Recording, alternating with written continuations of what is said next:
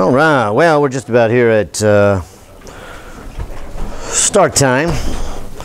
We'll get started here in a few seconds. I suspect we uh, will keep filling up. Actually, it'd be ideally if uh, uh, it did keep filling up. I'm kind of worried about uh, not having enough seats for everybody, but more on that in a second as we get started. And uh, actually, maybe I'll just uh, start now and uh, give a little forewarning here that there should be four sheets of papers or four grouping of papers. Uh, starting with this one, it'll look something like this for those of you who already got it and those who are about to get it. This is the syllabus, so I'll give that a chance to get to you. Um, following behind that will be a second sheet. Will look like this. This is your your first. Uh, bundle of homework, I'll call it here, but this is your homework assignment. So hopefully in a few minutes you'll get one of those.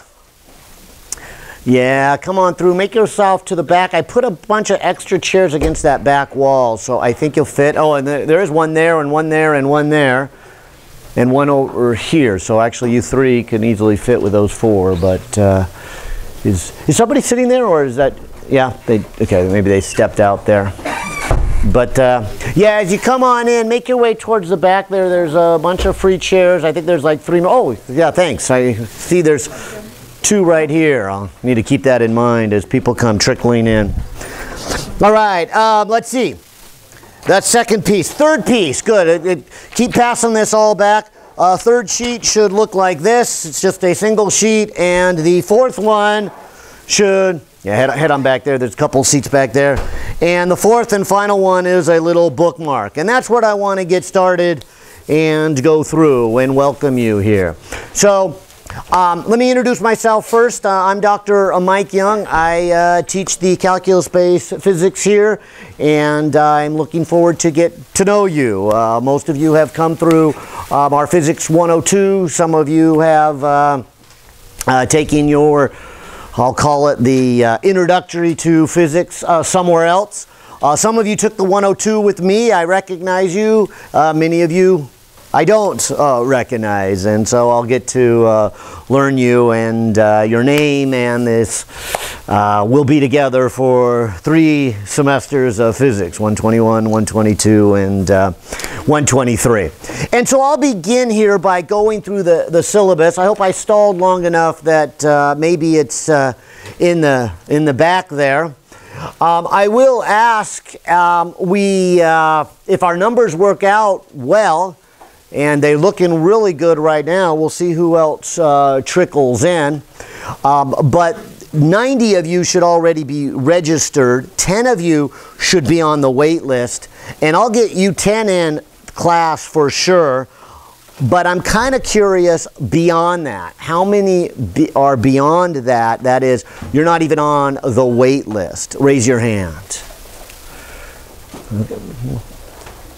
Okay. Um, Again, I expected a little more than that. That's, that's good. Because I know this is an important semester. Um, if your transfer date is, uh, what would that make it? Fall of 2016.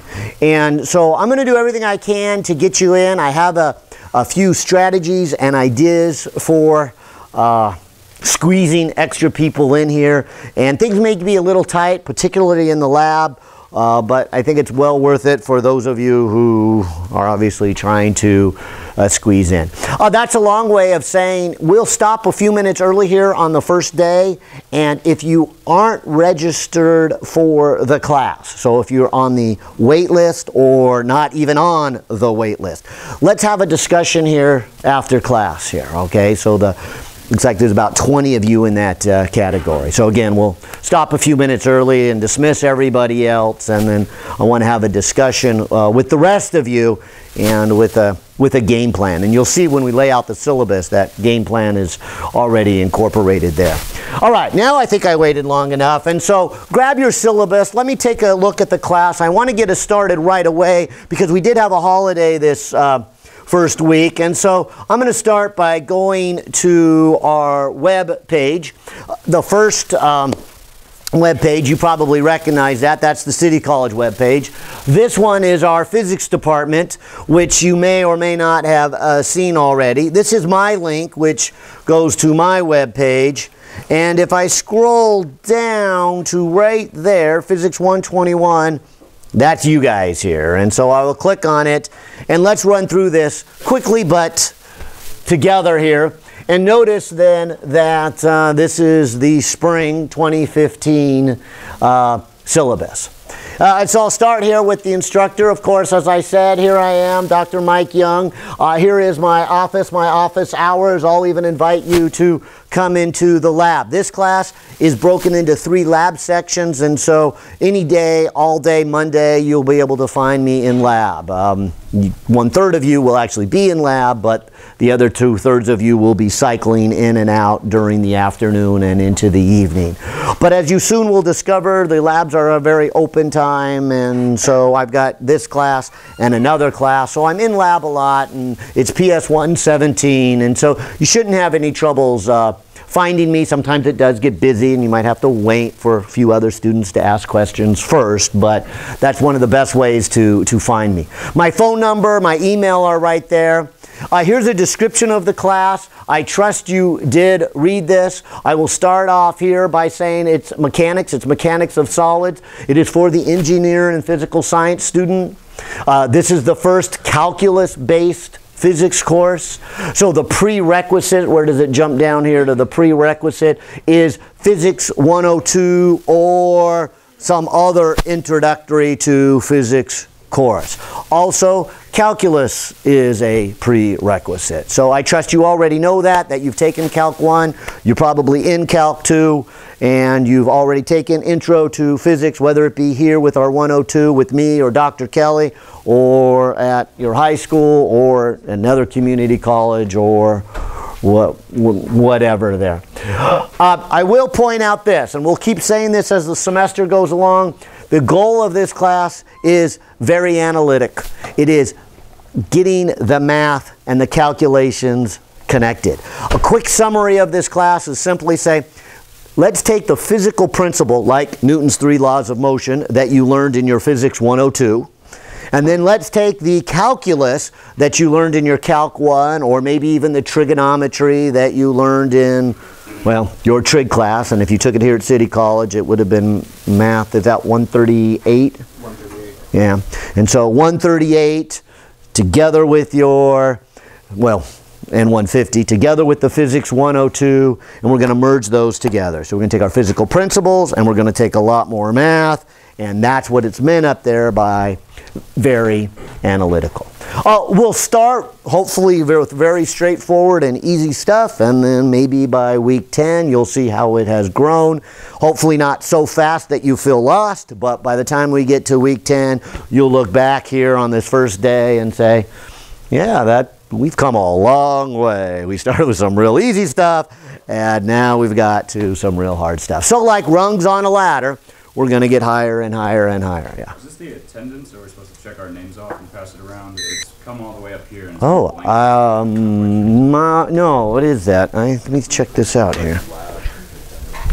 Oh, no. I'm sorry. That no, that wasn't supposed to go around. Thank you. Yeah, yeah, yeah, yeah.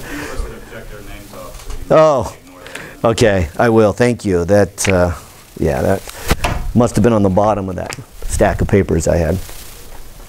Um, let's see, where was I here? Oh, so in here, then, um, I will point out then one more thing. It is highly recommended that you also enroll, and you, and you have to actually enroll, in our workshop class, the Physics 121W. Let me take a moment to point out the beige sheet. This explains that class. And since this is your first time in our three semester program, let me explain this class. Uh, it is a class designed to help you in this class. It's Friday afternoon. Uh, we call it a workshop class because, as the name implies, it is just a workshop. You go there and you can do the homework for this class. Uh, the instructor there is there. Uh, you can ask him questions. He's a really great guy. He's very friendly and he's easy to approach and ask questions to. Um, also, while you're there, you'll get to know other people in this class. You will ask them questions. They will ask you questions. It is our way of getting study communities together. And it is very powerful. Actually, Don also does these reviews uh, a day or two before the exam. And so uh, when the first exam comes, or the second or third, he'll say, hey, uh, how about Sunday afternoon? We take about three hours. If you want, you can come and we'll go over some past tests and work it out. So very, very helpful. I have never had a student say it is not helpful. I'd encourage you to ask around. Is it going to take effort on your part because you've got to actually go sign up? Uh, I have a bunch of add codes right here for that class. And so when we end here today, I would encourage anybody who hasn't heard about this class to come in, get an add code. And again, it's Friday, afternoon. And it's a one unit course. It's credit, no credit. I mean, you can't take it for a grade, so it's not going to increase or decrease your um, GPA in terms of that class. What it will do is increase your GPA for this class. Did I answer your question? You like you were. No, I was going to ask for any, if you had any more of those candies, I didn't get them back there. Oh, are there any more? did I run short? Uh, I think we're out. Um, again, hang around. We'll stop a few minutes early for just that, and I can make a lot more copies. Yeah, yeah. Is there going to be a workshop meeting Friday as well? And they'll, yeah, it's starting this, this, this Friday. And uh, you can go there with, you know, this first homework assignment. Although, as you'll see in a few minutes, this first one won't be uh, overwhelming homework assignment. But uh, those days are coming where you'll really appreciate the, uh, the workshop. And so as you'll see, we do a chapter each week with the idea that I know you guys are going to go to the workshop, so I'll you know, explain the material during the week, then you'll go to the workshop on Friday. Um, you may not finish all the homework, probably won't on the workshop, but if you got started before the workshop and kind of got stuck, and then get unstuck when you go to the workshop, uh, then you can kind of work through there, and then hopefully that'll give you enough momentum to finish up the assignment over the weekend and turn it in on Monday. That's, that's the strategy anyways. Okay. All right, well, I'll keep going unless you guys have more questions here. The textbook. Uh, hopefully you picked up the textbook. Uh, did you guys, at least those of you who are actually enrolled, get my email about the textbook? Okay, here is the book, although let me be careful with this one. This one uh, does not have the uh, uh, modern physics on it. Does anybody have the one with the modern, well, uh, physics on it? But uh, you, this is one of the editions. And so on that email I sent out, this happens to be this copy of the seventh edition. I suppose I should have brought the eighth or the, or the ninth. It doesn't matter which edition you uh, get. Um, and some of them can be actually quite uh, affordable. Ah, that's the seventh edition. I recognize the picture, and it's well, you can see it's a little thicker. But again, the thing I just want to warn you, wherever you get the book, make sure it says at the bottom with modern physics. Not that you'll need it this semester, but in 123 you'll need that part, which is why I don't carry the heavier book to this class. But uh, you don't want to buy two books eventually. And so that one book will be good for all three semesters. Uh, the other important piece here is the lab manual. And, uh, oh, I was going to grab my lab manual too. I should have, and I did not. Yes?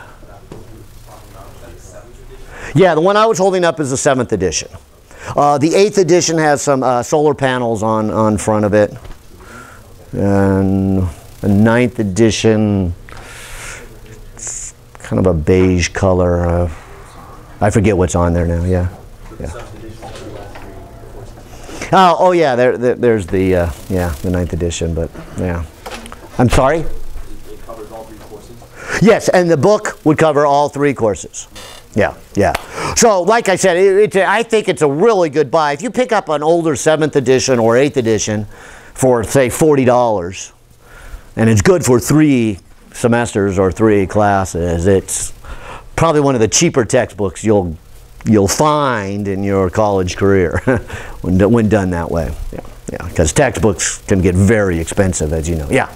Is there more lab manuals at the bookstore? You say, did they run out? They ran out. Ah, okay, let me check with them. Uh, as you can see, we're, you know, we're got a lot of people obviously interested in more than uh, anticipated, and so they often do run out. In fact, I think they deliberately time it that way that they don't want to overprint and they lose money on it, so they wait till they run out and then they, they print more. So I'll double check with them, but I'm glad you said that. That reminds me then too, I'll probably just make a few extra copies of the first assignment so that when you guys come to lab on Monday, we'll have a backup plan. Yeah, and what to do. Um, in fact, I'll even tell you now when we get into the lab, you team up with a partner, and so you only, between the two of you, you only need one manual really. So, you know, as long as, and that's what I'll do first. I'll just ask around, okay, anybody missing one? And somebody, you know, and I'll say, okay, now let's get you with somebody who has a lab manual so that everybody in that group, at least there is at least one lab manual in that group that you can read and do the work from. Okay. Um, let me scroll down again, since for many of you, you uh, this is the first time having a class with me, but this is my grading policy for all my classes. During the semester, I give three exams, and those three exams count for a total of 50%, which makes it, you know, 16 and two-thirds percent for each test. Uh, likewise, the end of class is a comprehensive final exam, which is 25% of your grade. So right there, 75% of your grade is exams, in-class exams and final exam. The other 25% is homework, which is 10%, and labs, which are 15%. And they will be graded on effort, not on being absolutely correct. So I view the homework and the labs as part of the learning process. So just like you are going to come to class and take notes, and just like you're going to go home and read the book and do the homework, that homework process, 10% of your grade, if you do it, if you try all the problems, or rightly or wrongly, and turn it in, you're going to get full credit. Of course, more importantly, if you actually try each of them, you will probably do very well on the test. And that's the motivation to get you to make sure that you pick up, you read the book, you try each homework, and you put in that effort. And so not only will you get your homework 100% correct, but then you will probably also score quite high on the test, which means I've met my goal of which means you actually learn the material, and that's the approach there. Same thing with the labs. The labs, as you'll see here, we'll be working in the lab and uh, like the lab coming up this uh, Monday is we are going to drop an object down from the ceiling and we're going to watch it fall. We're going to measure its distance, its velocity, its acceleration, and all these things involving motion that we're about to get started with here this uh, coming week. And so that's what we'll have our discussions on. And I would encourage you then to talk with your lab partners and fill out the little tables and make the little graphs. And if you have any troubles, ask me or ask your partner or ask the group next to you. Because by, hopefully by the time lab is done, you've got the lab 100% correct. And you've taken the time and you're going to hopefully leave the lab with that much more information. Okay? And we'll come back to that grading probably after we take the first test. Uh, guidelines for turning in the homework. Your first homework assignment is due on Monday. You'll see here in a few minutes. We'll get started with chapter one and I'll send you off and you will hopefully then do chapter one either at the workshop or, you know, if you don't feel like you need the workshop that this week, that's fine. Talk to the instructor, Don. Just send him an email and say, I'm good. Chapter one's easy, but I want to make sure I'm still in the class. Don't drop me because I know it's going to get harder and, you know, keep my spot there and I will come. But this Friday, I don't uh, feel like I, I need to. Uh, but anyways, this is just how you kind of want to write it out and put your name on it and all those good things. Uh, I better move on since we're kind of short here on time. The next page on your syllabus has the, uh, what I would say, the helpful hints on uh, what if anybody comes to me and say, I'm, I'm struggling in this class, I, I don't quite understand what's going on, I would say, ah, let me help you. And I will start with, are you going to the workshop class? Uh, because the workshop class, by far and away, is the most helpful thing you can do outside of class, of course, other than read the book and do the homework and the obvious things. But in addition to that, it is go to that workshop class. If nothing else, you can just sit there and do your homework, and you have to do it anyways, and you, you get it done. But it's nice to have somebody there that you know you can ask a question and just, just kind of have that uh, dialogue. So that's why I put it top on my list. It is by far, I think, the most important thing you can do to be successful in this class. Uh, beyond that, we do have some free tutoring service. It's just down the hall, PS 112. The hours still have to be set up. Um, this tutoring service doesn't start till the second week and so this week I'm working out times of when the tutors are going to be there and so next week I'll hand out a little flyer and you can just keep that in your notebook and if you find yourself struggling you can drop into the uh, tutoring service. Uh, another helpful one is uh, our YouTube videos. If you go to YouTube and you type in Santa Barbara City College or SBCC Physics, uh, you'll see a bunch of videos, including if you noticed we're going to retape the 121 videos. So I got the camera rolling already. So right in the back there, we've got the cameras. If you go there right now, you will see these same lectures. I think they're three years old, if I'm re remembering. Maybe they're only two. But the last time I videoed these, uh, these lectures was about three years ago. And so I was looking at them and I said, hey, this might be a good semester to redo those ones. And so at the end of each lecture, we'll take the recording out and we'll put it into our computer. It takes a while to upload, but today's lecture should be on our YouTube channel by this evening at, at some point here. And so if you missed class or if you tuned out because you got up so early and we're about halfway through a problem and you go, okay, I followed the first half, but I have no clue what happened during the second half of that problem, uh, they're great. You probably aren't going to sit in front of your computer screen for two hours and rewatch a two-hour lecture. But you probably are going to say, that problem was really complex and I really didn't get it. And so you can just scroll through and get right to that one. I have been told, some of my students tell me they watch it at double speed. So I, I, I, don't know how that if that if that works, but they say, yeah, it's great. You take a two-hour lecture, it becomes a one-hour lecture. All right, all right as long as you uh, can digest it that uh, quickly. And then there's some other options. I'll leave those alone here. You can read them and and. Uh, view those other options if you so need them. Uh, the next page here on the syllabus is the homework assignment. And so right here, chapter one, these are the problems for this weekend. This other packet right here, it looks something like this. This is a photocopy of those. So you can either keep this or, of course, they're at the end of chapter one, whichever, you know, works best uh, for you. Uh, right now, you'll see that I have passed out, excuse me, the homework assignment for chapters 1 through 4, which is going to bring us up to the first test. And so after the first test, I'll give you another little packet, which will be chapters 5, 6, 7, and 8, and then so forth and so on until we get through the 14 chapters.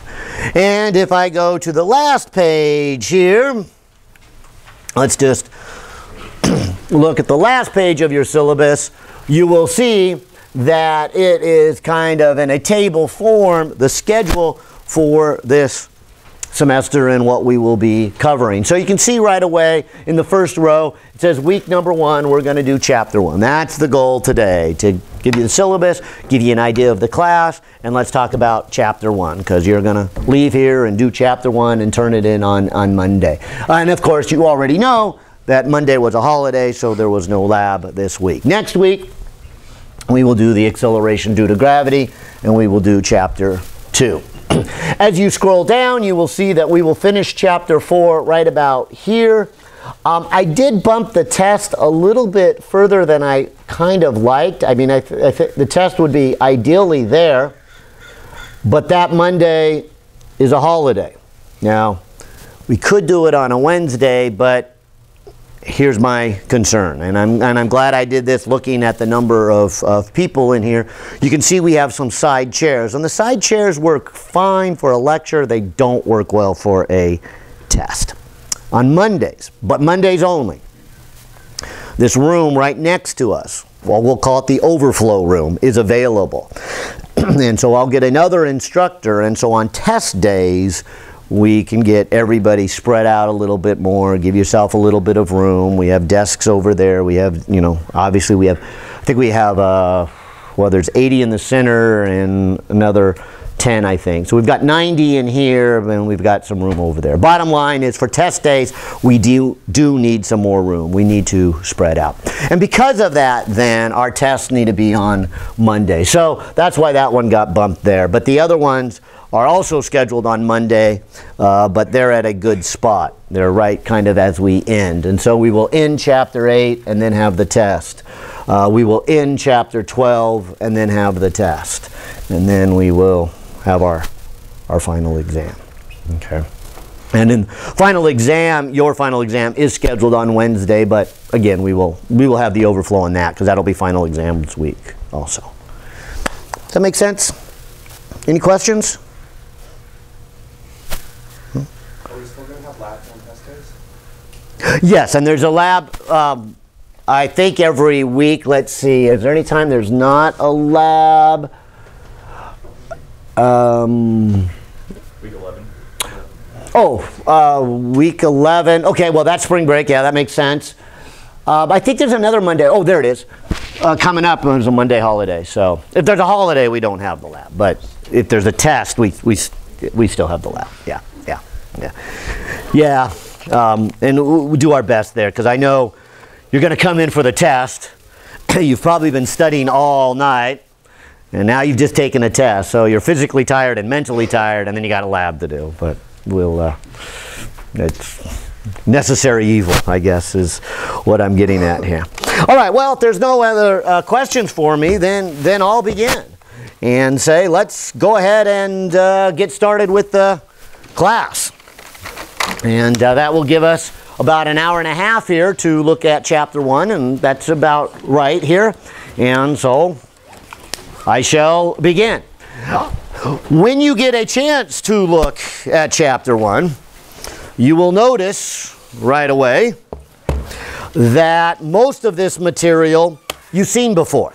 Maybe not all of it, although there's a good chance you, you have seen all of it. In fact, I, I hope you've seen all of it because part of the lesson I want to get across to you is to train your brain for thinking through problems. And the day is coming real soon where you will see some challenging problems that you've never seen before. And so, how do you do those? And I think the best way to answer that here is in chapter one to get us started with things you've already seen before. And then let's think about how you would get to that answer. So it's kind of helpful to already know the answer and to think about the process of how you would get there. So I always fear that I'm going to bore students because you already know the answer. But I think in the long term, students get real appreciate of this process of saying, okay, that's how you work through a problem. This is how you solve the puzzle. This is how I get to the end result. So, starting very simply with the metric system for our measurements, your first section of chapter 1 is just measurements.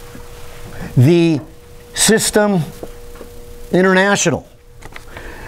Let's take a look at that.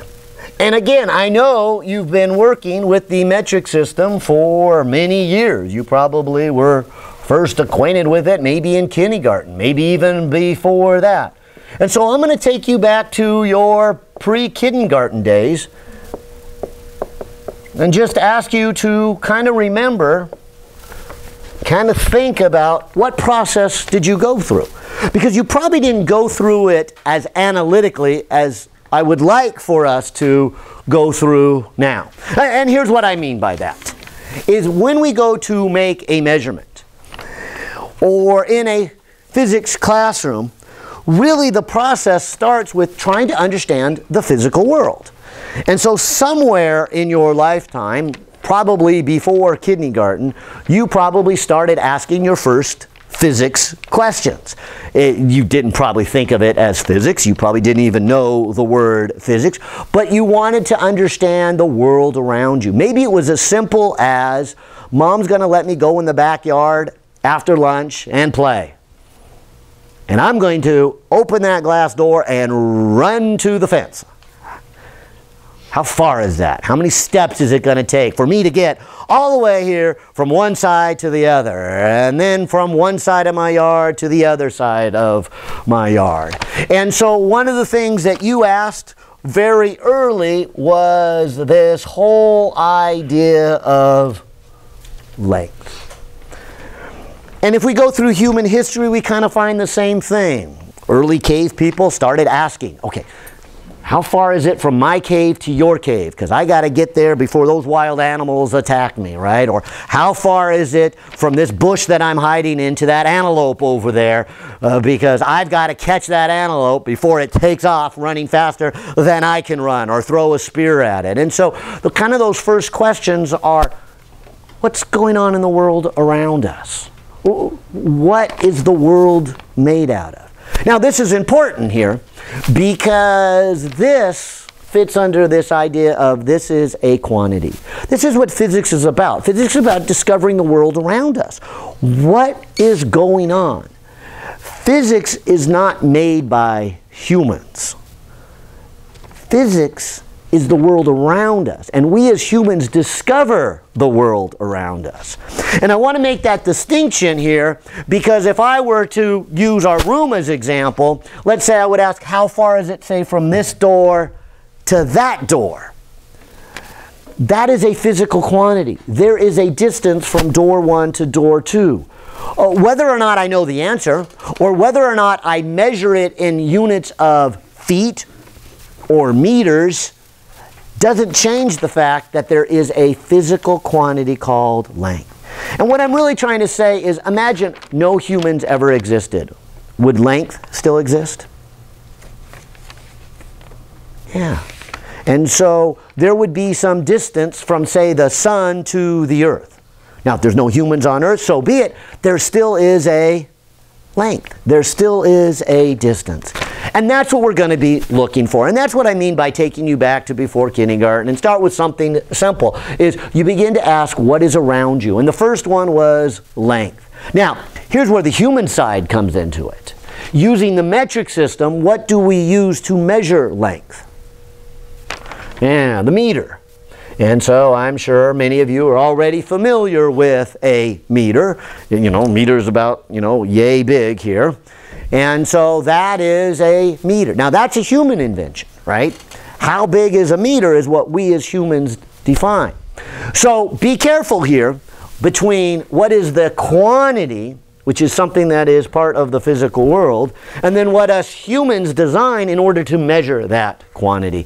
And that's what I really want to make a distinction. This is the quantity, this is the unit.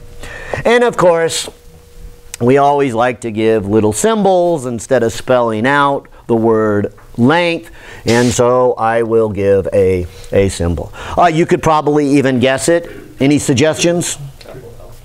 L might work. Good. I won't use that one since your book doesn't. Any other suggestions? D, sure. Another one you see a lot.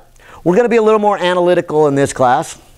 So I'm going to put delta x and ask you if you kind of recognize these symbols. Delta, what does that mean? Change. Change, good. You recognize that. X. Yeah, and so you can see I'm kind of grabbing this from a coordinate system. And so what you're going to see is we're going to say, well, the object finished here. This is the final point. This is, say, the initial point. So this might be x final. This might be x initial. The distance between them would be to take the location of the final point and subtract the initial. Make sense? And so that's going to be our symbol for length, a, a, delta x, how far. Now sometimes that will change into a delta y because we might ask not how far is it on an x-axis, door to door, but how far is it, say, from floor to ceiling? Okay, fair enough. Like I said, no, nothing too surprisingly new. And I bet you've done this one too. What's the symbol for the meter? Yeah, yeah. So answering my first question here, and say, okay, how far is it from this door to that door? I would roughly guess 10 meters. So maybe I'll say delta x is 10 meters. And I guess what I mean by that is a sentence, right? The distance is 10 meters. And so if somebody made the statement, hey, the distance is 10 meters, isn't that how you would write it down? Now, notice you are converting a verbal description to a mathematical description. Now, I wouldn't say it's hard, and I bet none of you have any troubles with saying, hey, the distance is 10 meters, and then you write down that equation. But that's what I'm going to keep emphasizing this semester. That is a skill, an important skill is how do I change a verbal description into a mathematical description? Because if I can summarize any physics problem, it is usually two big pieces. The first one is there is an explanation or a description of what is going on. And your first big step, I call it the translational step. You've got to take that information, you've got to translate it from words into equations. And the second half of that is now solve those equations. And so that's a big step too. But those are your two big steps. And so you've been learning this over the years, and this one probably seems very simple to you. But I'm sure you've seen other word problems that don't seem quite so simple. But I also would suspect you wouldn't be at this point in your education if you weren't pretty good at those word problems. Those people who hate word problems don't usually also elect to take a class that is nothing but word problems. But here you are in a class that every problem will be a word problem. So your first big step is going to be that translation. Uh, let me ask you this too. Why write it as 10m?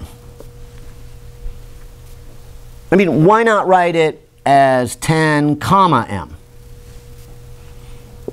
Or maybe 10 semicolon m. Or maybe 10 colon m. Why do we do this? Have you ever stopped to ask yourself that? What?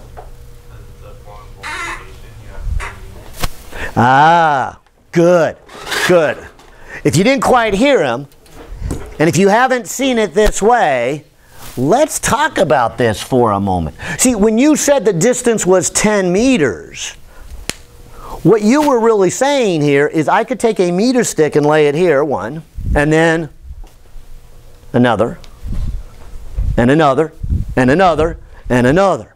And so what you really said is the distance from that door to that door is really a meter stick, and another meter stick, and another meter stick, and another meter stick. And let me not write out all 10. But I would then say that the total distance between those two doors is 10 meter sticks added together. And I know you learned this back in third grade. How do you write repetitive addition? It's multiplication, right?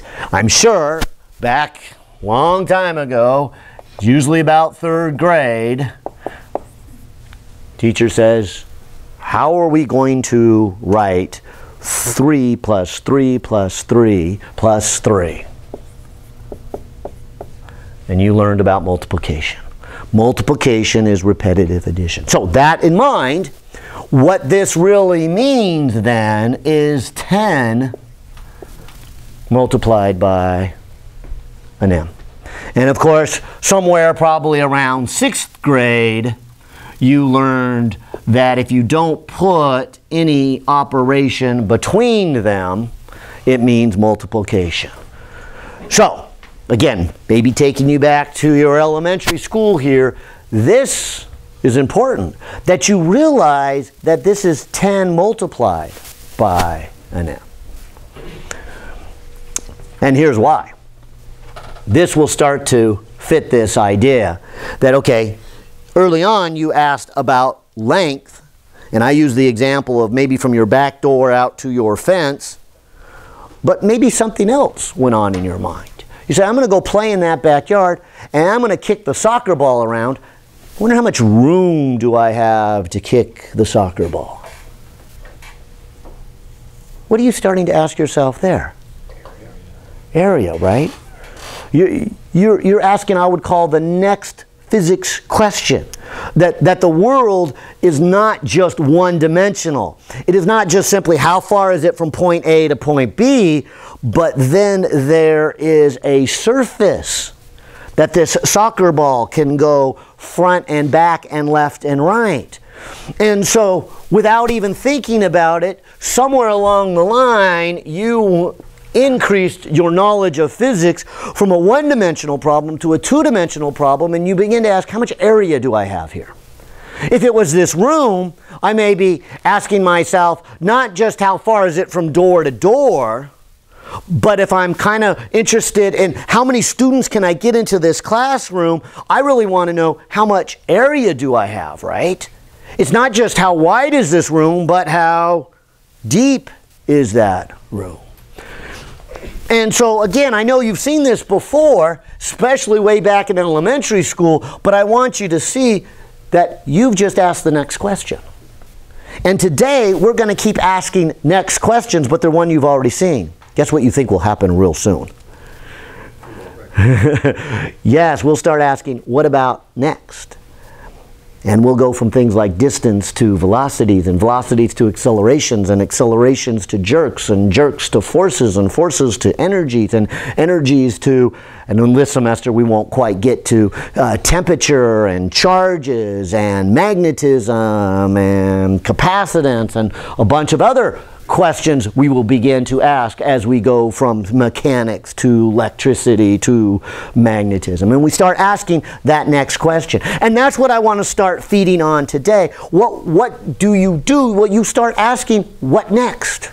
And so in this case, I'd say, what next is, how much room do I have in this classroom for students? Just like as a young kid, how much room do I have in the backyard to kick the soccer ball around here? Of course, I would probably choose a symbol for it. And probably not a surprise, we use the capital A, which, by the way, the little a I'm saving for acceleration. So we'll see that on Monday. So we'll go capital A for area. But now we begin to ask this question, well, how do you figure out how much area is there? How do you measure the units of it? Well, let me start with that first one. Okay, I realize that there would be more than just the width of the room. I would also need to know the length of this room. Uh, so let me draw a quick picture here. And again, I'm sure you did this back in elementary school. You were introduced to the idea of area. And you said, well, this room has a width, uh, but it also has a length. So, how do you get the area of this room?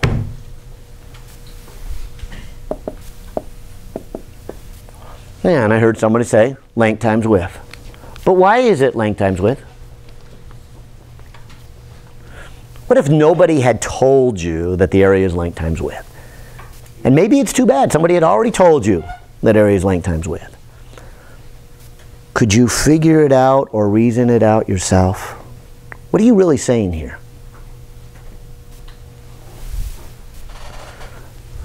Well, didn't we say there were 10 of these? One, two, three, four, five, six, seven, eight, nine, ten.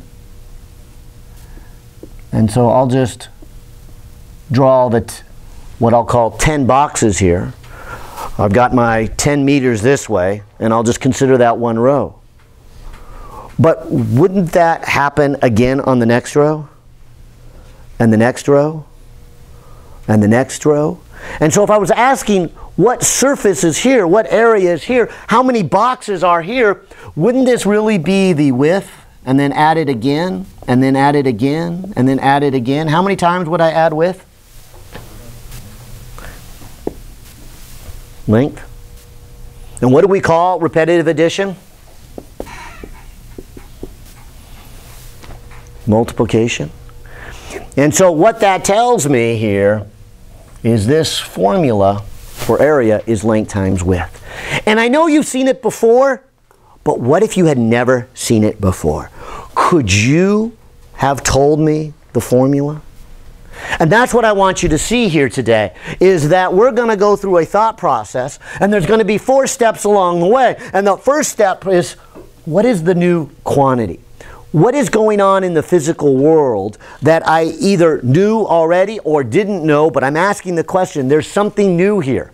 That something new can be as simple as area or it can be as complex as magnetism. And so, what happens next? And once you realize there's a new quantity, the next part of it is how would you calculate and measure this quantity? And so, had you never seen the formula length times width, I'm hopefully you're seeing I could figure it out. And that's probably the most important thing I can say. In fact, let me take this moment right here to just point out on the very top of your syllabus, and it's on the top of every page, and it'll be top of every test you take. What does it say? Physics is about knowing how to apply a few powerful fundamental concepts to explain a universe of phenomena.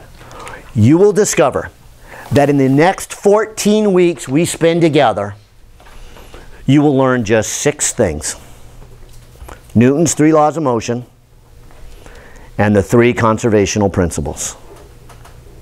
Six sentences. I could repeat them now for you in about two minutes. It's going to be an easy class. That's it. That's the whole final exam. Six sentences. Think you can handle that? But it's what do you do with those six sentences? It's that deductive reasoning. It is that step of saying, okay, yeah, I know what length is. And then I show up for the test and they ask me about area. Area? Where did that come from? We were talking about length in class, and now there's a question about area? And the first question says, What is the formula to calculate area? Are you serious? Yes, I am very serious.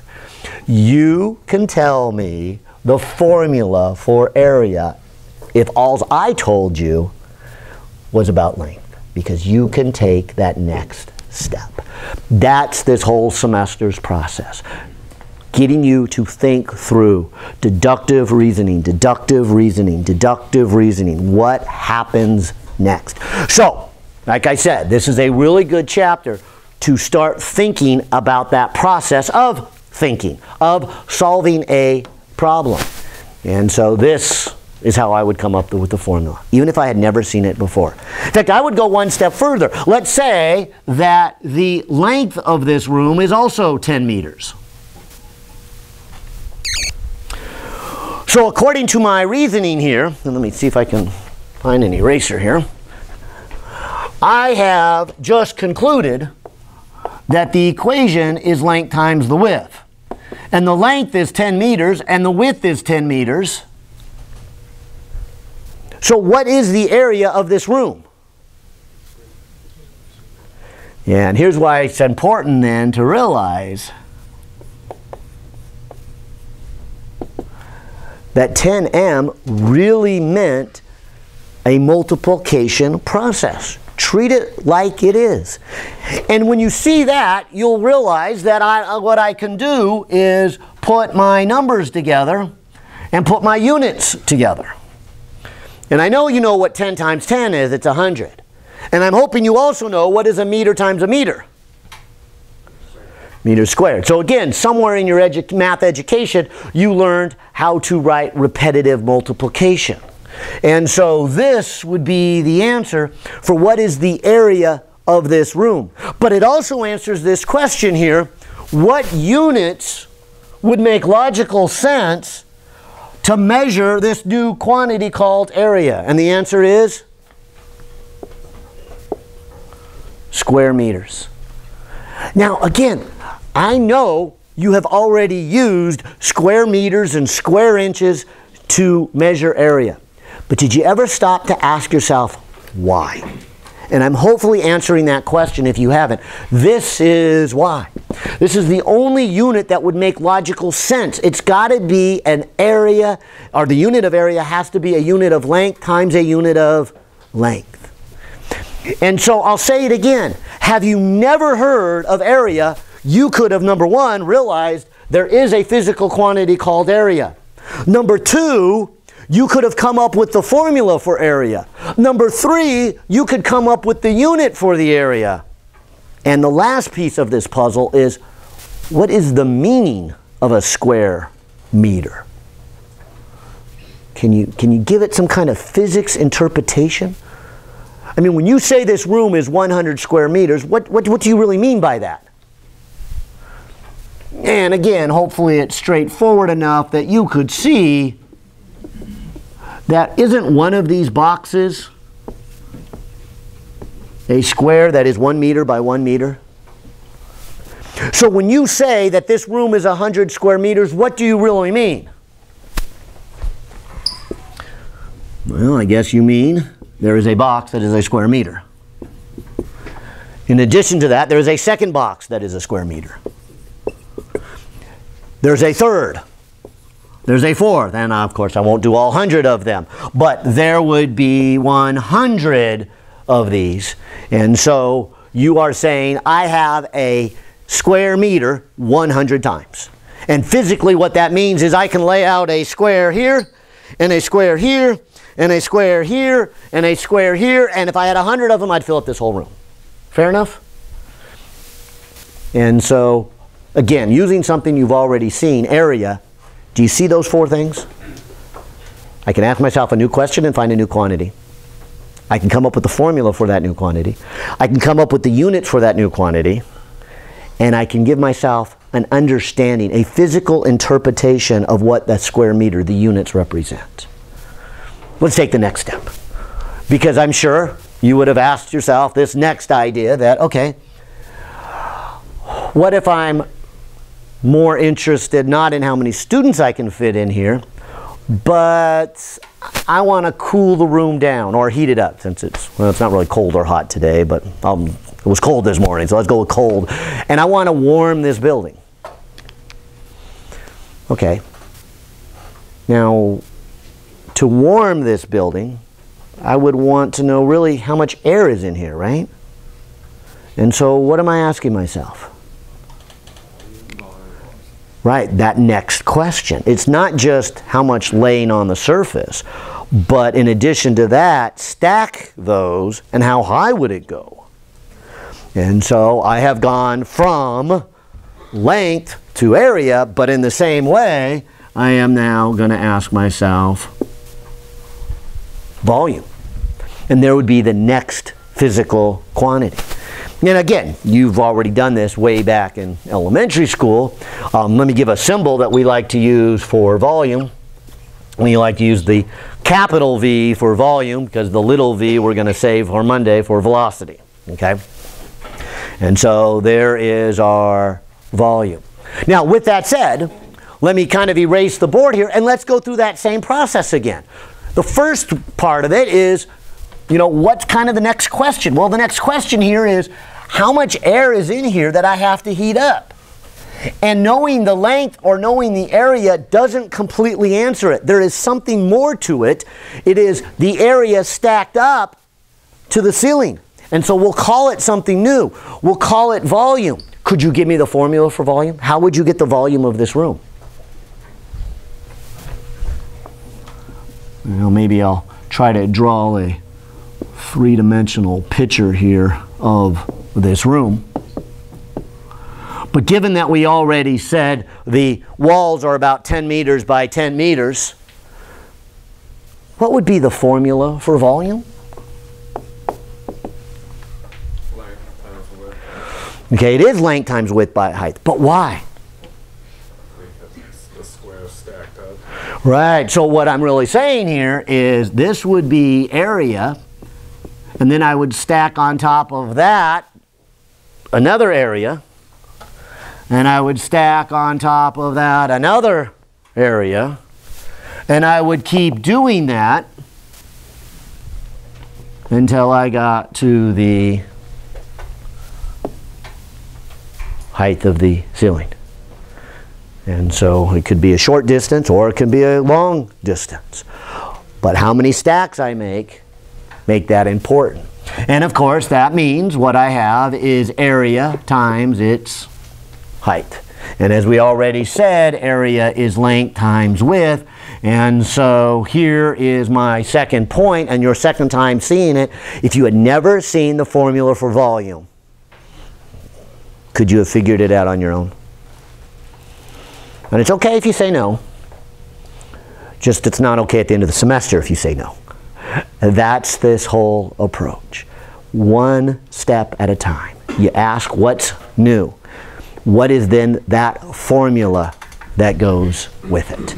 And so that's why we're starting here with things you've already seen and shown you how you probably worked it out, or maybe you were too young to work out the formula on your own and you were just told by your third grade teacher, this is how you get volume.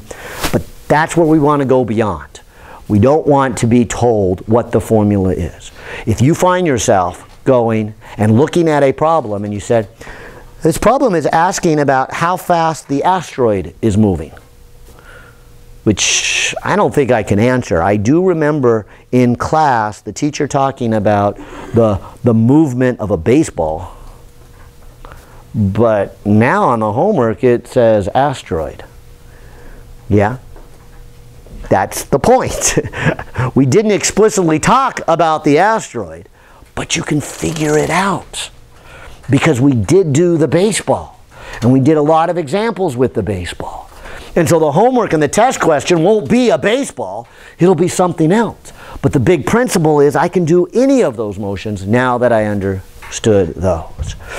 So this would be the formula. And in fact, using this room as an example then, we would have our 10 meters by 10 meters, and I'll call it 4 meters up.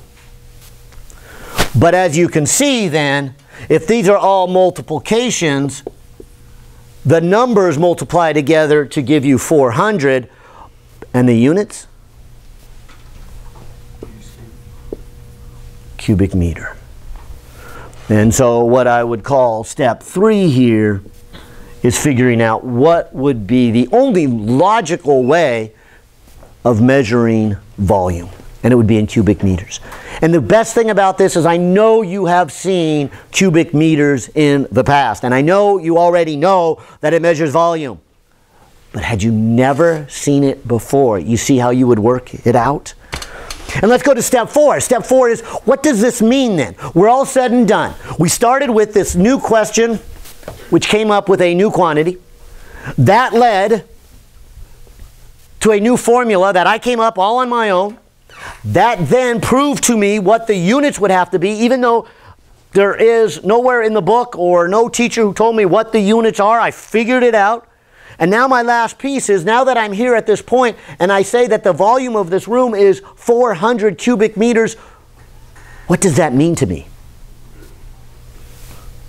Well, a cubic meter and a cubic meter and a cubic meter added 400 times. That's what it means, right?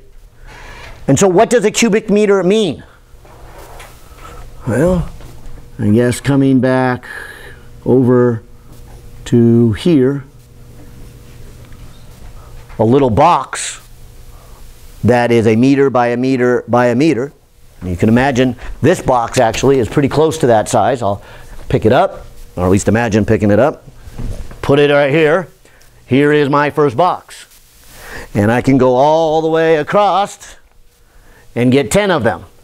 And then move over and go another 10. And move over and get another 10. Until I get all the way to the back of the room, I have 100.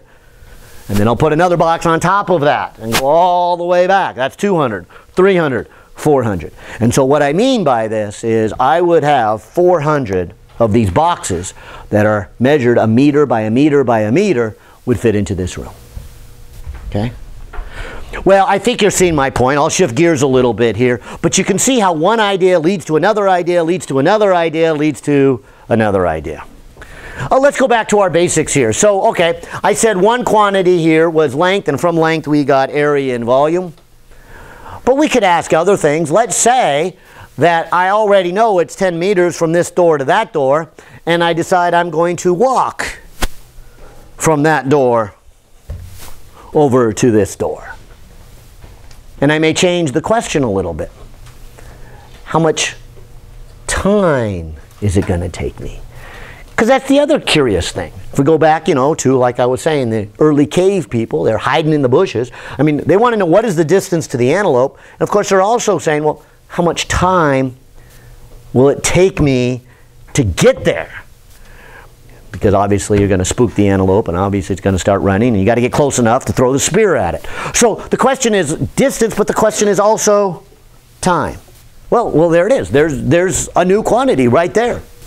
One that you've been working with before you were in kindergarten, right? Time. Again, time is some physical quantity. It's not something that's human made.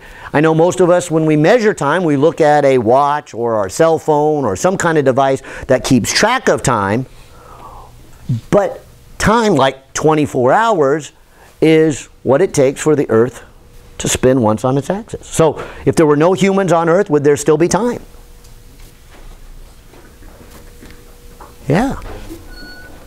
And I think that one's maybe a little bit harder to see than length, but time is not a human invention. It's part of the physical world.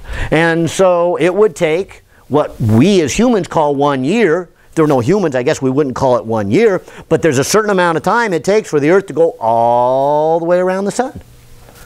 We as humans invent the word year for that, but that quantity time is separate from humans. So I would say there is another quantity that you already know in the physical world. Um, I'll put the symbol up here that your book uses and probably doesn't surprise you. It's a lowercase t. Uh, I'll even put the units. We as humans invented a unit to measure time. You're probably already familiar with the idea of a second. Your author does a good job of giving you the modern definition of a second. The original idea of a second, I think you know, is that one revolution is 24 hours. Uh, you divide that by 24, you get an hour. You divide an hour by 60, you get a minute. You divide that by 60, you get a, a second. Unfortunately, the Earth doesn't always keep the same rotational speed, so it's not a good long-term definition. And so instead we have the cesium atom and however many billions of times the atom oscillates there is, or the electron uh, orbits there is our new definition of a, of a second. But I'm not real interested in the, at this point anyways, the, the strict definition of what a second is. What I'm interested in is, see how that would be a new question with a new quantity? Okay? And it would be what we'd call a fundamental quantity, kind of like length. We start here and then things can build from there. But there is time. Oh, maybe I'll give one more for this chapter. Uh, you can see where we're headed. What if I put this question together? Uh, I'll wait for Tuesday on this one.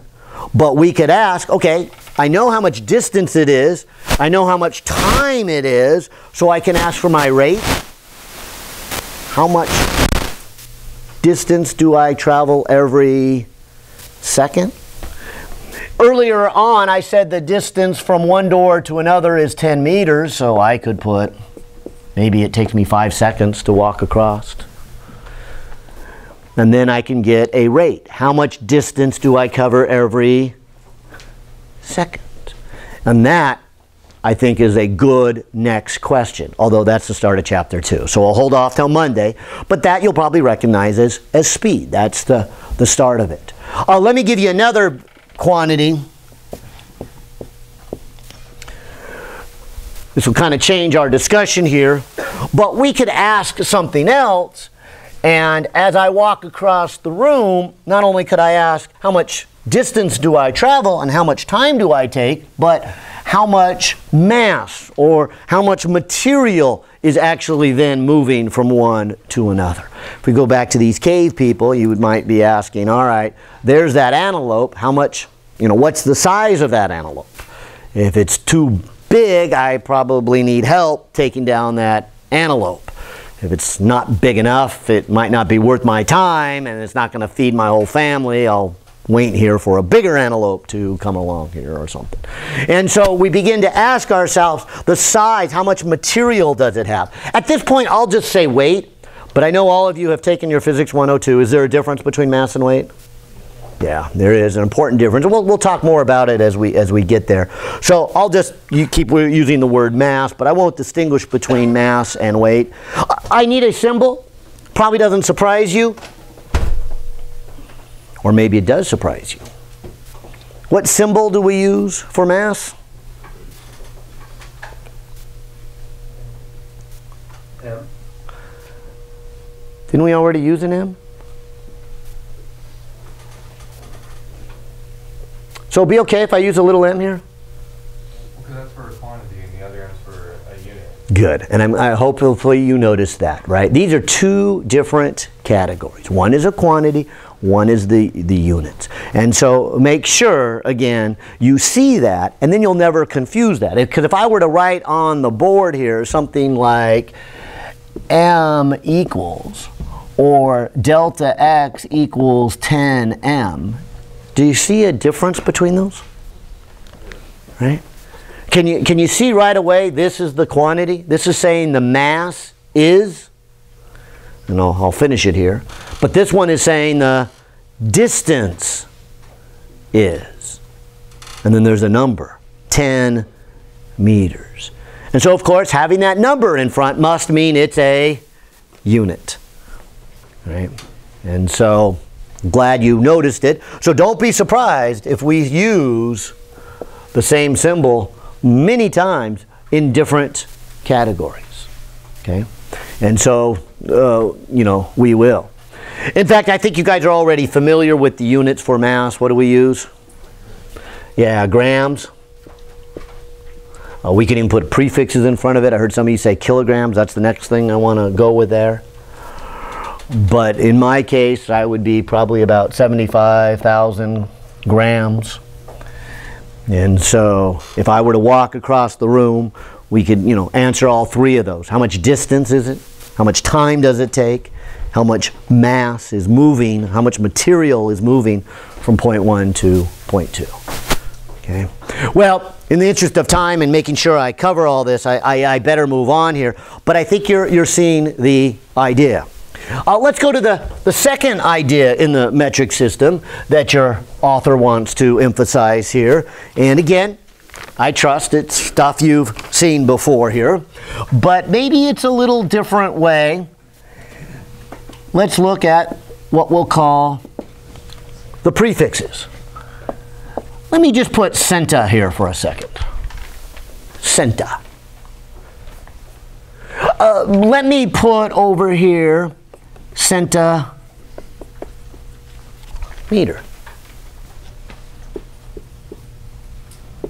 Centigram. Centisecond. You can see why I called it a prefix. I'm putting it in front of words we've already seen. Maybe I'll change colors here.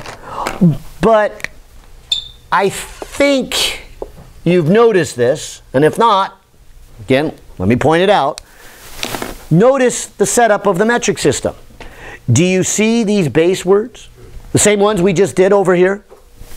And I know you've used the word centimeter before. What does it measure? What quantity? Does, does centimeters measure mass? Time? Volume? Area? Length? Of course, you know its length. I'm being silly here. But how do you know its length? What if you had never seen the word centimeter before?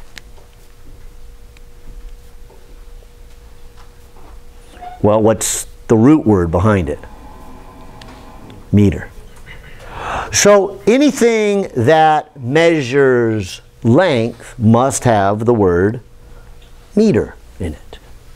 That's the nice thing about the metric system. That and some other things here. But you've probably heard of millimeter. What does it measure? Length. Kilometer, what does it measure? Length. Maybe you've never heard of megameter, but what does it measure? Length. How about femtometer? What does it measure? Length.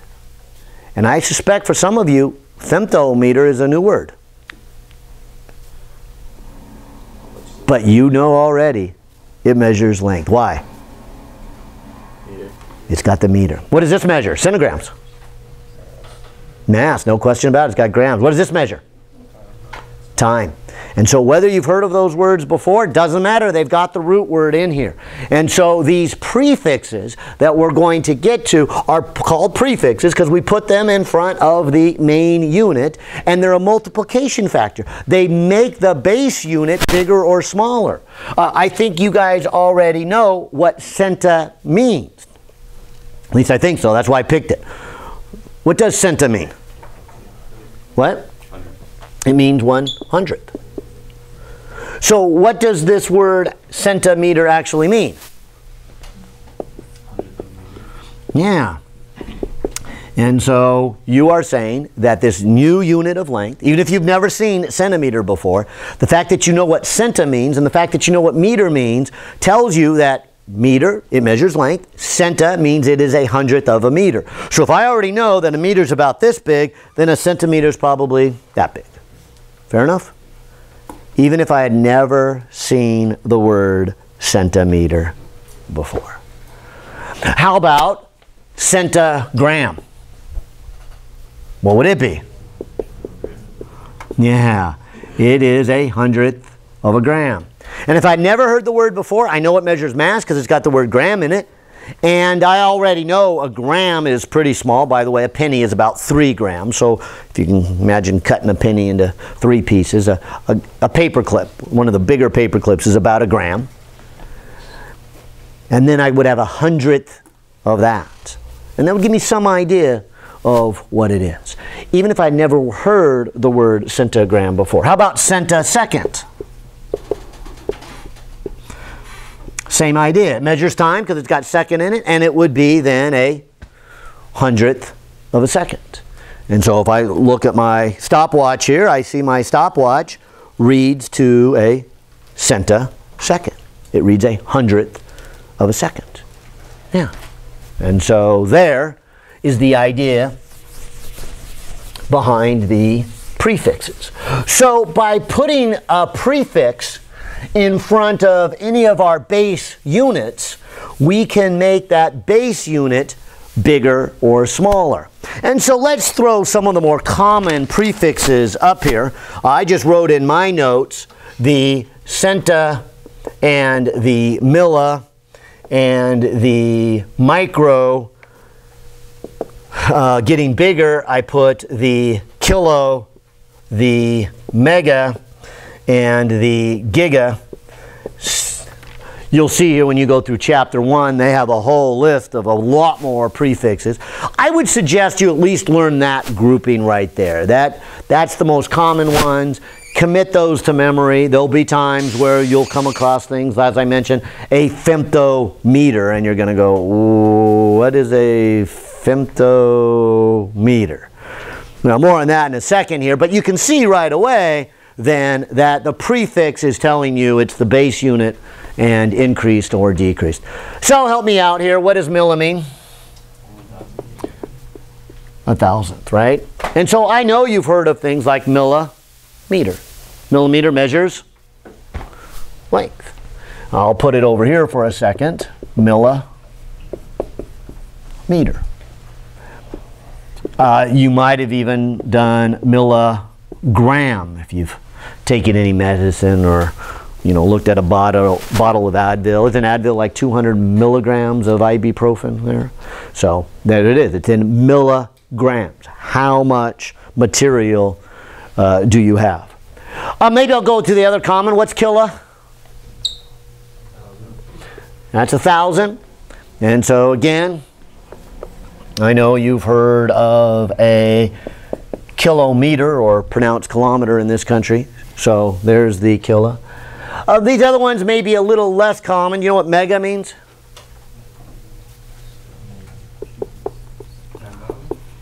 Uh, it's a million. We go up by another three.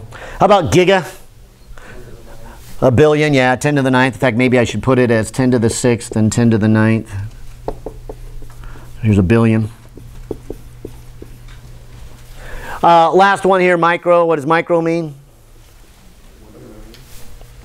And that's one millionth. Yep.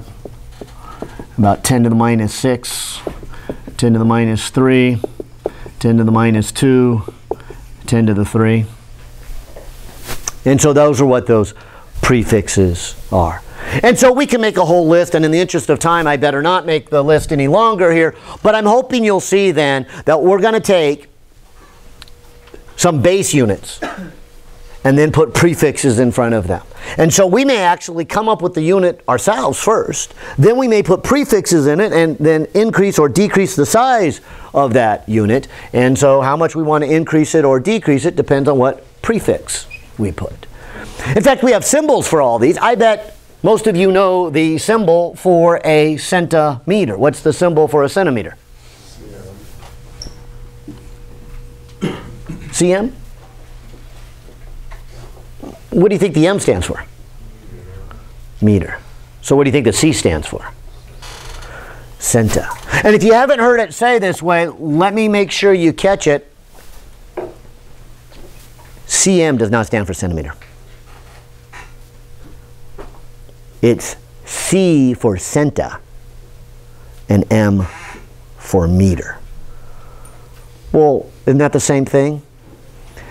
Yes and no. Because it actually means multiplication between them.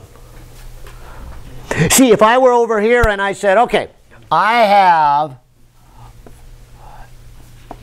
this metal rod that is one point, well, let's do this. Um, 140 centimeters. This will be easier first. It's 140 centimeters long. How many meters is that? 1.4? How? Why?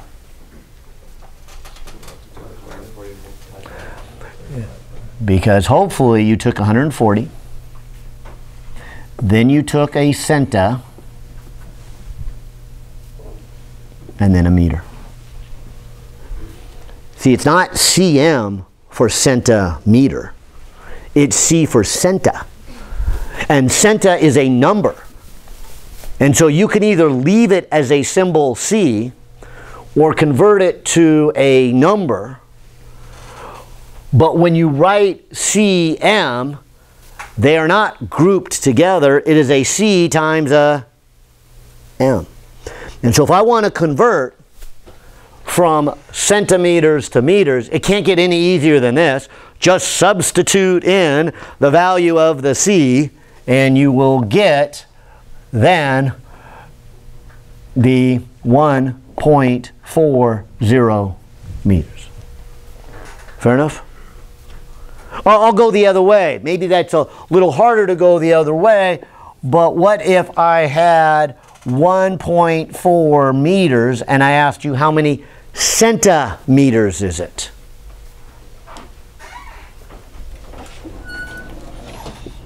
Well, it's 1.4. And it's meters. Now I want to make it centimeters. Yeah, I'll multiply top and bottom by a centa. How hard can that be? That doesn't change anything. Group those together and I got centimeters. Group those together and I got the number. So this would be 1.4 and that centa means 100 centimeters. It's 140 centimeters. Now, since they're all multiplications and divisions by 100, most of this you can do in your head. Most of this you should just be able to shift the decimal. But let me say it again, in case you didn't catch it when you were younger. cm does not stand for centimeters. It's C for centa, M for meters. The rest of it logically falls in place. And therefore, we can start to do some units. We could even start to do some units you've never done before. I know you've done centimeters. I know you've done square meters. I know you've done cubic meters.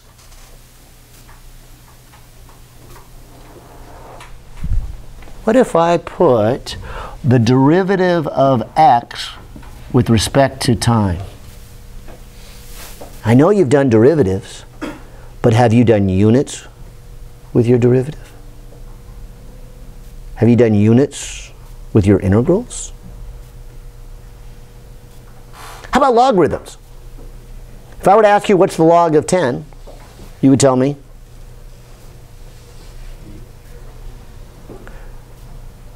One, right? Log base 10. Log of 10 is 1. Uh-oh, we're in trouble. but what if I asked you what was the log of 10 seconds? Hmm, we got some learning to do. But let me point out, this is the point of today. You don't need to tell me what to do. I know how to handle it from the rules of algebra.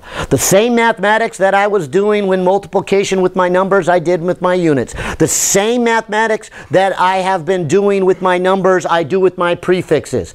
And so notice that whether it be a prefix, or whether it be a unit, or whether it be a number, they're the same properties of mathematics.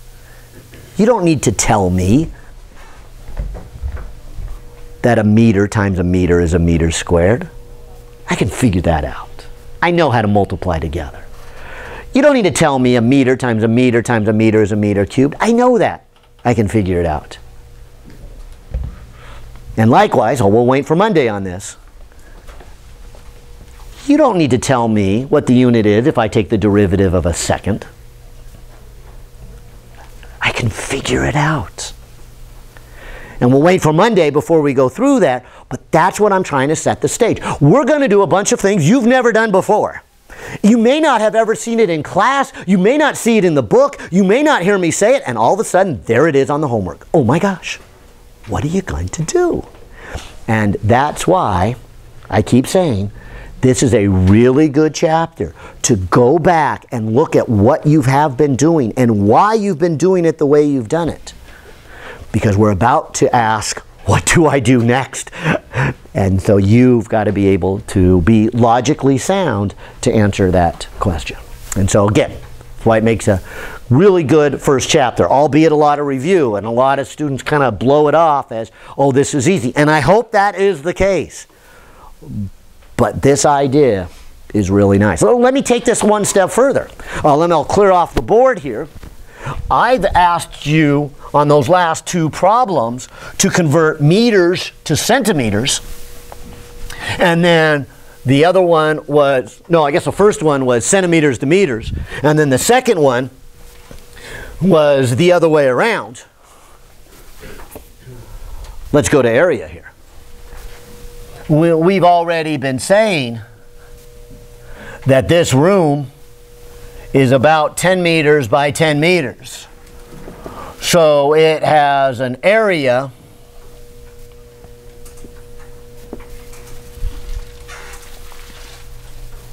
of 100 square meters. Fair enough?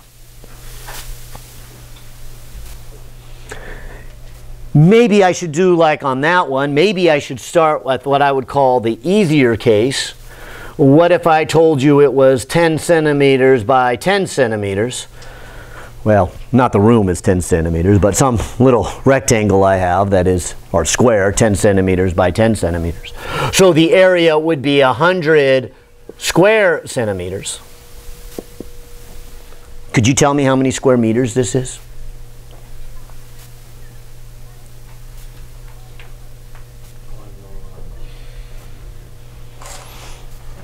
Now, let's come back here. Where did this come from? Wasn't it really 10 centimeters by 10 centimeters? So isn't this really 100 times a centimeter squared? And isn't that really a centa squared and a meter squared? And so maybe it's unfortunate that we write it this way because we really mean that. And then what that means is this is a centa squared and a meter squared. And a centa is one hundredth, and I'll just square it. And there's the easiest way to convert from a square centimeter to a square meter. Put in the value of the centa. That's what I'm trying to say here. This has a numerical value. It is not cm for centimeter. It is c for centa and m for meter. Treat the c as it was designed to be treated. It is a number. It is a prefactor. Use the same rules of mathematics for the prefixes, the units, the numbers. And if I can get that straight to you, you're going to be able to do some much harder problems that you've never had to deal with before. And you will know how to do them because you've learned the mathematics of the numbers. Now I'm going to be asking you to take the mathematics and apply it to the units and apply it to the prefixes. And that's all I've done here. I've applied the square to the centa. It's 100 square. And so obviously one of those cancels with one of those. And so it's 1 hundredth of a square meter. That's what I have. hundredth of a square meter. And if it was up here and the question said, how many square centimeters do I have? I would just simply go, all right, I would like that to be converted into square centimeters. So multiply top and bottom by square centimeter. There it is right there. There's the square centimeter. And so this is 100, and that would be 100th squared. And then this would be centimeter squared. That's how I convert it. I put a centa where I need it. And to make it mathematically valid, I got to put it to match. So I put a, excuse me, a C on the top, but I got to put a C on the bottom. I got to put two of them. And of course, when I do that, this is a compound fraction. So that's 100 times 100 times 100. So that is 1 million. And so the floor space here is 1 million square centimeters. Fair enough? So again, hopefully not too boring, but also at the same time, see the thinking process. This is what you've been doing since elementary school. You've been looking at the prefixes. You've been multiplying them together. hopefully you remember now that that really means multiplication. Just like the distance is 10 meters, that right there is multiplication. And now, once you realize that those all mean multiplication, then you could just apply the same rules of mathematics to the prefixes, to the units, as well as the numbers. And I know at this point in your education, you are very good with the numbers. I will just be asking you to do the same thing for the units. Usually in math classes, they spend a lot of time with the numbers, not so much time with the units. Well, I'll keep going. Maybe this will illustrate my, my point here. Uh, let's say after class, I head home and I go get some gas. Car's on empty, and I pull into the gas station, and uh, I don't know, is gas 250 roughly? Is it that low yet? All right, good. I, I certainly am enjoying the low price of gas. Uh, that's been very helpful, and probably you too. But gas has dropped a lot. Let's just call it 250. But I pull into the gas station and I pump, let's just say, six gallons. How much do I pay? So it's 250 a gallon. I get six gallons. How much do I pay? 15 bucks? Well, it's the price. Yeah, the price is 250. Six gallons. 15 bucks, right? How'd you get that? Six times two, point five. You multiplied? How come you didn't divide? Why'd you multiply them? Because six gallons and each one is two point five. All right. So, mentally, I hope this is what you're all thinking. You're thinking, okay, if I've never done this problem before, do I add 250 and 6? Do I multiply 250 and 6? Do I divide 250 and 6? Do I subtract? Oh no, I know what it is. I do an integral of 250 and 6. That's got to be the right one, right? So you've got to make this decision up front. You've got to look at the physical world and decide what process is going on and how that math is related to that process. And again, I know you've been doing this since third grade when you learned arithmetic. And so mentally you're saying, well, look, if I were to picture myself pumping the gas, one gallon would go in. That would be 250. Then the second gallon would go in. So that would be an plus another 250. That would be an additional 250. Then the third, then the fourth. And so hopefully in your mind you're thinking, okay, how much dollars is this going to cost me? Well, it's 250 and then 250 and then 250 and you're going to do that 6 times. And you already have told me that repetitive addition is multiplication. And hence, if nobody told you to multiply together, could you figure out that you're supposed to multiply? And so there's going to be your questions. They're going to get a little bit harder than multiplication. You'll see on, on Monday when we start chapter 2. I will ask you, well, what should we do? And one of those questions will be, you should take a derivative. It won't be as simple as you should just multiply. I know you're good at multiplying. How are you at taking about derivatives? Do you know when and why you should take a derivative? I will also ask that question next Monday. And one of the other answers, I said, what should I do? And the answer should be, well, you should do an integral. Today, it's multiplication. But let's use all of our mathematics, including the most recent mathematics, is yes, there are times where that would mean take a derivative, or that would mean do an integral, or that would mean take its logarithm, or in this case, it means multiply. Okay? And so again, that's kind of why we're kind of running through this, this basics idea here. So, here's what you are really saying. It is, excuse me, 250 per gallon and you are then multiplying it by six gallons. Right? And so, again, notice that I am going to do the same rules of mathematics. In this case, multiplication and division. Look what happens. Here's the number. Two and a half times six. Well, that's 15. But the big one I want you to see, and you've probably seen this in other classes, what do you get when you take a gallon and you divide by a gallon?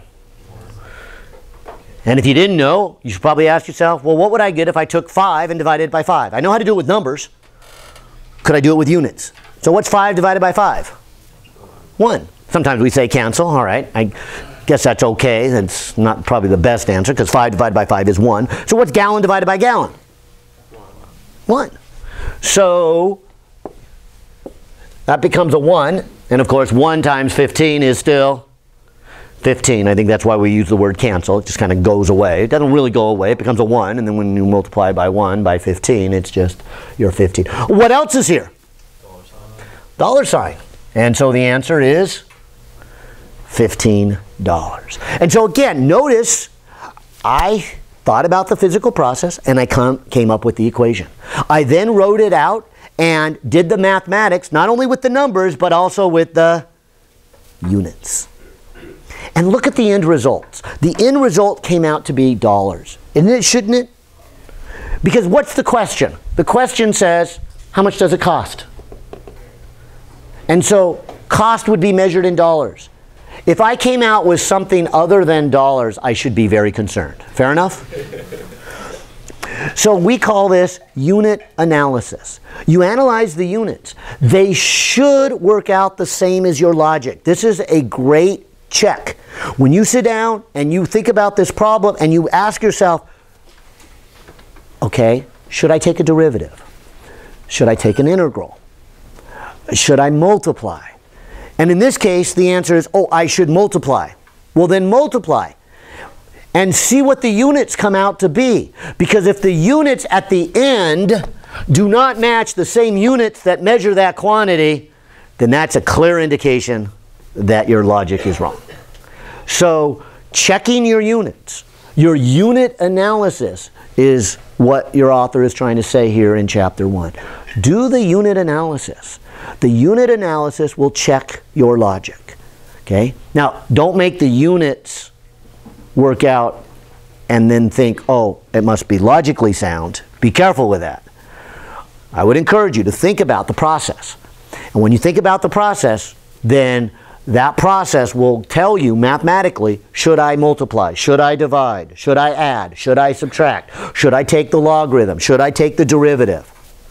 Once you decide that, then do it and follow your units through and see if the units match.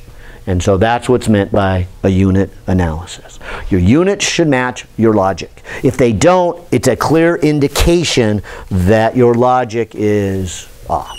And so I'll say it again. This part of this chapter is saying make sure you use the same rules of mathematics for the numbers, the units, and the prefixes. Okay? And if you do that, I think you will go a long way in this. Uh, let's do a couple of other things here. A couple other things your, your author talks about here is he puts a couple of objects together. Uh, I think he has uh, three boards. Uh, they're all made out of wood. They're cut to different lengths. And so I'll just kind of put it on the board here. Let's take this first one and say this first board is 1.4 meters long. The second one, a little shorter, 0.75 meters long. And the last one is shorter still at 0.121 meters long. All right, so there is our three boards. And he asked this question if you stack them together, how long is the total? All right, seems like a simple question. Really, probably more of an elementary question. What process would you do? Would you multiply those three numbers together? Right? You're going to add them. Because you've learned, probably way back in first grade, that when you're talking about combining things, that is the process of addition. All right, so I'm going to combine these three together. Uh, pictorially, I guess it would look like this. I would have the longer one, uh, then the medium one, and then the next one, right? And I would start to add them together. And I would go 1.4 meters plus 0.75 meters plus 0.21 meters.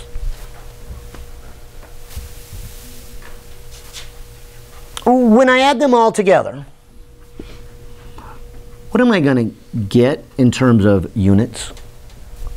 I mean, I know you know how to do the numbers, right? You've been doing numbers for a long time, and you could probably have done this back in for well, it's got decimals, so second or third grade, where you're going to have to add a bunch of decimals together. And I know you can add the numbers, but what about the units? When this is all said and done, do I get meters? Cubic meters? Why meters? Now, careful, you, you're justifying the units because the quantity at the end is length, right? But I want to justify the units and see if it matches at the end. So at the end, you're really saying at the end, I better come up with meters because what am I asking? What's the question? Total length, right? And length is measured in what? Meters. So if I add those three, would it come out to be meters? If I had never done this before, how would I do it?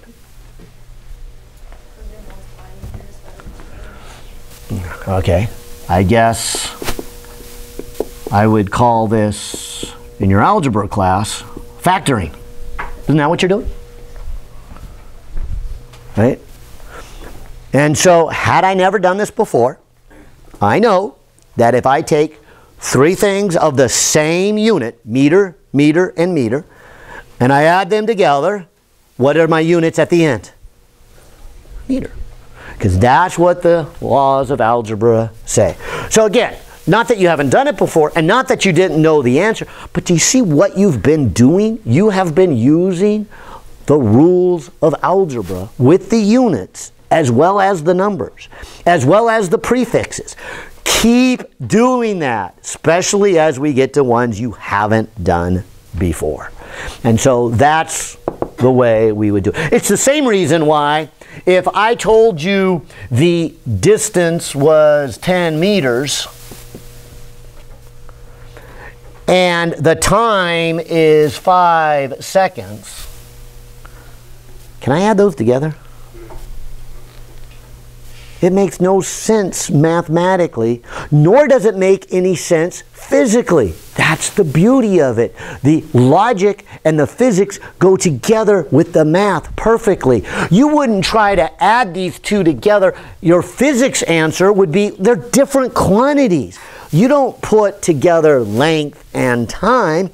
And mathematically, you would say you can't add these together. They're not like terms. You can't factor out the common factors and add the rest. There is no common factors. These cannot be added together. Fair enough? And they work beautifully together. And again, that's what your author is trying to illustrate here and kind of set you up so that you'll be able to solve more complex problems here. And so now I can add these together. And in fact, this problem illustrates a second point here. Let's add those together.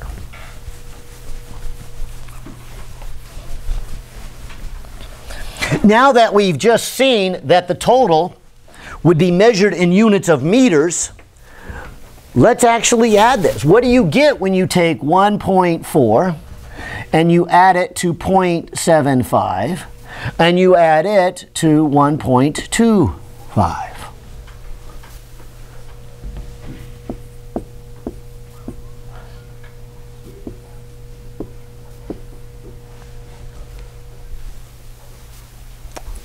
Is that the right answer?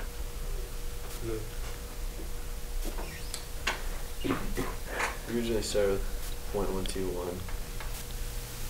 Oh, shoot. Sorry about that. Okay, uh, let me try that again. Anything change anything else? Okay, is that the right answer? Now we're going to take a step further. I think everything I've been showing you right now is really the same thing you learned in a math class and the same thing you learned in a science class. Although, like I said, in your math classes, you've been doing them all mostly with the numbers. I know that uh, they throw in some uh, unit problems, and they should, and I know they throw in some prefixes as they should, but in a physics class here, in a science class, we will always have numbers and units and prefixes. And so my point for the last hour and a half has been take something you haven't seen before, come up with the equation yourself, come up with the own units. You do that by applying the same rules of mathematics for the numbers, the units, and the prefixes. And if you can remember that, you will do quite well as we go forward from here. This is a little different. This is, might be something that you haven't seen in a math class. We only do this in science classes, and here's why. Mathematically,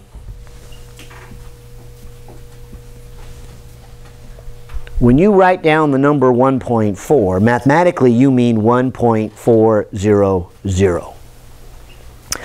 In a science class, we don't quite mean that. These are called significant figures for those of you who are kind of catching on here. And what do we mean by significant figures? Now watch this. When I go to measure that first board, I would get out a tape measure and measure. And when I say it's 1.4, do I really mean 1.4 exactly? No. There's no way that I can measure exactly one point four zero zero zero zero zero zero zero zero.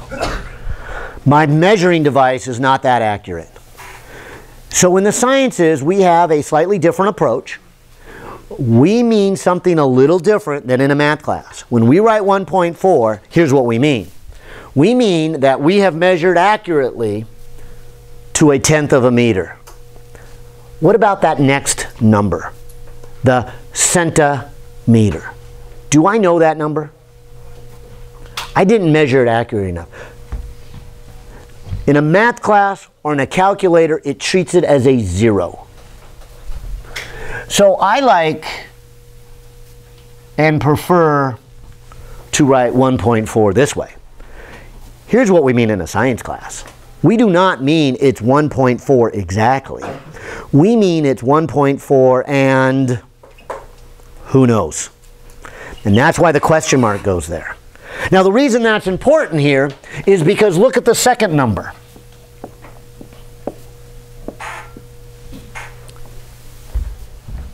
The 0.75 doesn't really mean 0.75000 like it would in a math class. In a science class, what it means is I've measured it to a hundredth of a meter, a centimeter, but the thousandth of a meter, the millimeter, I don't know. So I'm going to put a little question mark there because I don't really know that number. Now, this third and last little board has been measured more accurately than the others.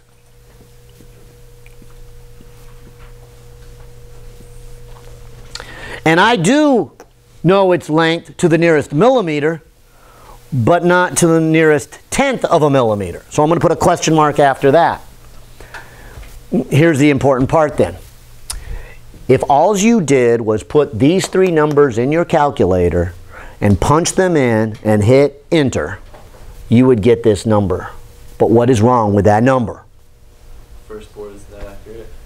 Yeah, there is no way that you should be telling me that the length is a 1 in the millimeters because you are adding numbers that you don't know. There is no way you know that number. So, in a science class, that is wrong. That is not a correct answer.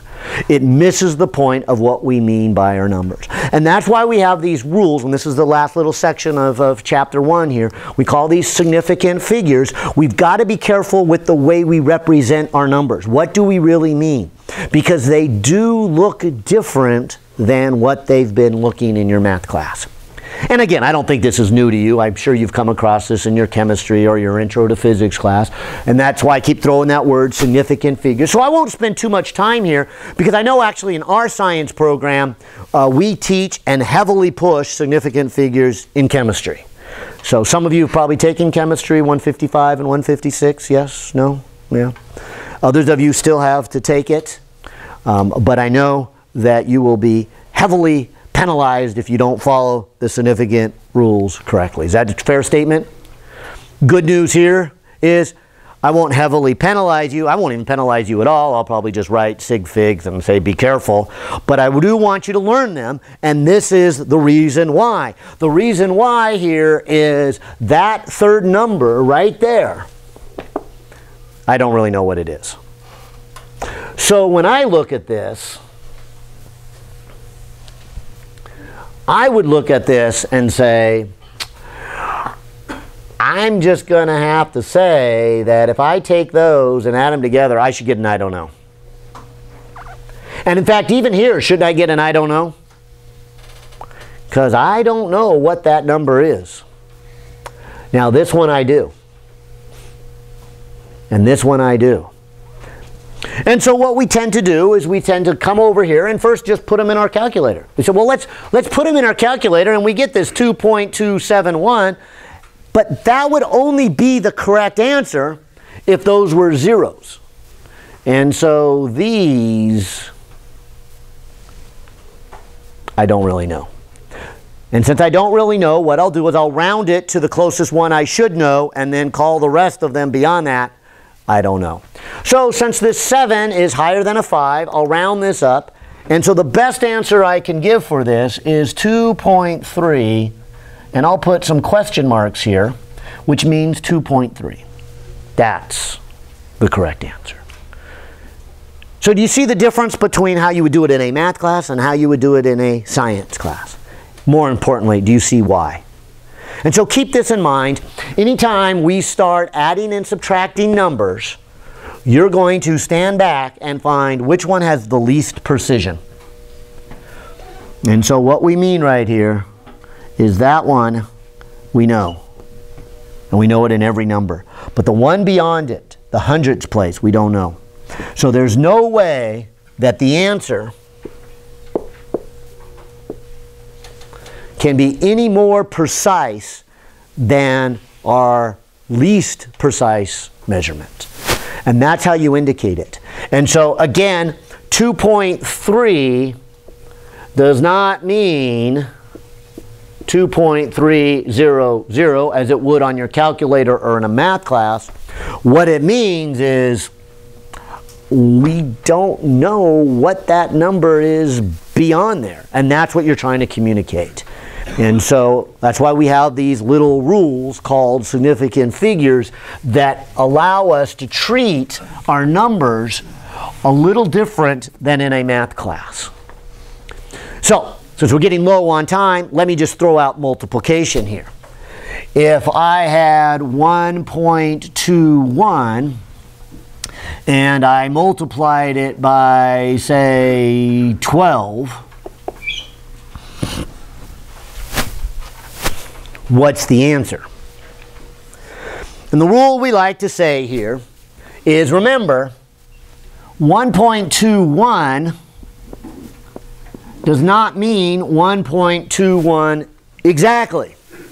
And likewise, 12 may or may not mean 12 exactly. Sometimes we really mean exactly 12. Like if we said, hey, get a dozen donuts. What does that mean? Well, 12 donuts, not 12 and a fraction that I don't know about. It, it literally is 12. So in that case, we would know these numbers and it would be 0, 0, 0. But other times, we don't know if it's exactly 12 and probably isn't if it's a measured. So do the mathematics as if there were all zeros at the end. And then realize that some of these numbers are more accurate than you can really justify because these numbers can only be known if these numbers were zero. And so the rule is we count how many significant figures are here. And so that's a little different than I did here for addition. Notice for addition, and I should say subtraction, I look for the least precision. And that's my answer. But for multiplication and division, I'm just going to count the number of significant figures. It's not perfect, but it's a good way to get started and say, let's just add these up. And notice that this one has three significant figures, but this one has two. And by having two significant figures, it means that that number right there would show up right there the third place back. And there's no way then I should know what that number really is. So for me to say 14.52 would be a mistake. I don't really know it's a 5.2. So I will round it to two significant figures and call it a 15 because it is really a 14 and change. Does that make sense? And that's the end of chapter one. A lot of review. I'll let you go now, and for those of you who uh, I said come up and see me, uh, let's have a discussion here.